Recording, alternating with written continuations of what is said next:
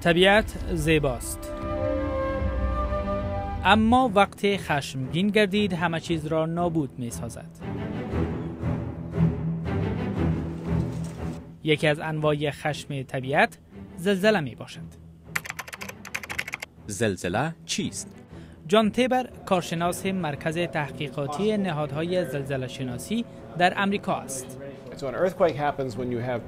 وقتی دو صفحه عظیم قشر زمین که همیشه در حرکتند به همدیگر برخورد نمایند با هم فشرده شده و بعدا کوشش می‌کنند از همدیگر بگذرند اما نمی‌توانند بالاخره انرژی زیاد بین آنها به وجود آمده لبه های هر دو صفحه بر یکدیگر میلغزند و موجی که به وجود میآید زلزله می باشد وی می‌گوید در اسنای لغزش دو صفحه عظیم قشر زمین مقدار بزرگ انرژی آزاد گردیده و امواجی که به وجود می آیند می توانند مسافات طولانی را بپیمایند. انواع زلزله Earthquakes are classified by how the ground moves during the earthquake. زلزله ها بر اساس چگونگی حرکت زمین در اسنای وقوع آن تقسیم بندی می شوند. به طور مثال در یک نوع زلزله صفحات زمین پهلو به پهلوی هم ساییده می شوند که آن را سایت سلپ می نامند. در این نوع زلزله کناره های صفحات به هم فشرده شده و بعد به هر دو جانب پهلوی هم می لغزند. در نوع دوم زلزله کناره یک صفحه قشر زمین با فشار بر کناره دیگر که ساکن است بالا می رود. فشار به این شکل تولید شده و بدین ترتیب کوهها به وجود می آیند.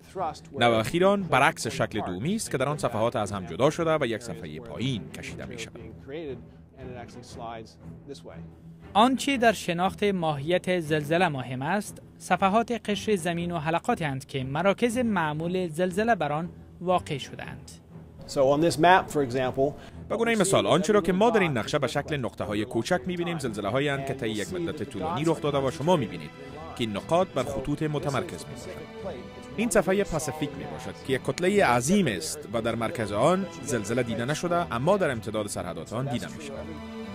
شدیدترین زلزله تثبیت شده در تاریخ معاصر زلزله ژاپن طی دو ماه قبل بود که شدت آن به حدود 9 درجه ریکتر می رسید.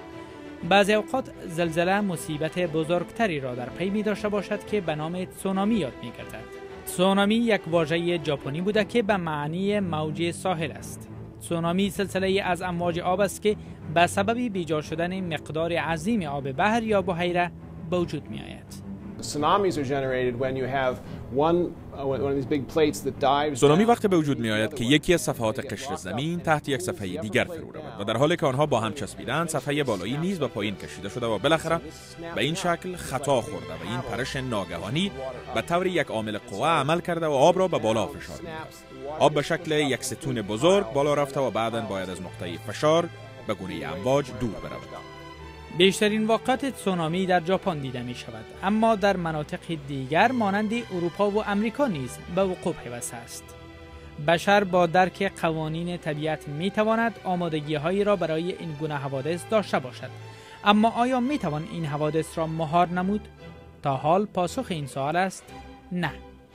احمد فادلامی تلویزیون آشنای صدای امریکا واشنگتن.